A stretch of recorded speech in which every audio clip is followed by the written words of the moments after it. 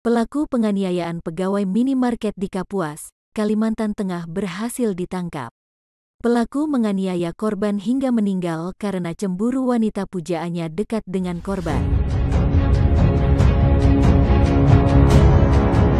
Pemuda berinisial MA, pelaku penganiayaan seorang pegawai minimarket di Kabupaten Kapuas, Kalimantan Tengah hingga meninggal dunia ditangkap personil Satreskrim Polres Kapuas.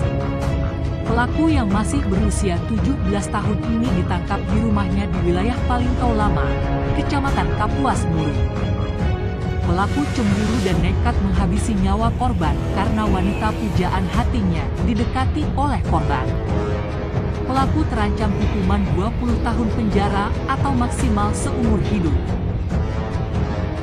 Di mana motif dari perilaku MA tersebut karena MA merasa cemburu karena eh, perempuan yang disukai diinformasikan dekat dengan korban sehingga MA sendiri ketika sudah cemburu langsung melakukan perbuatan tersebut.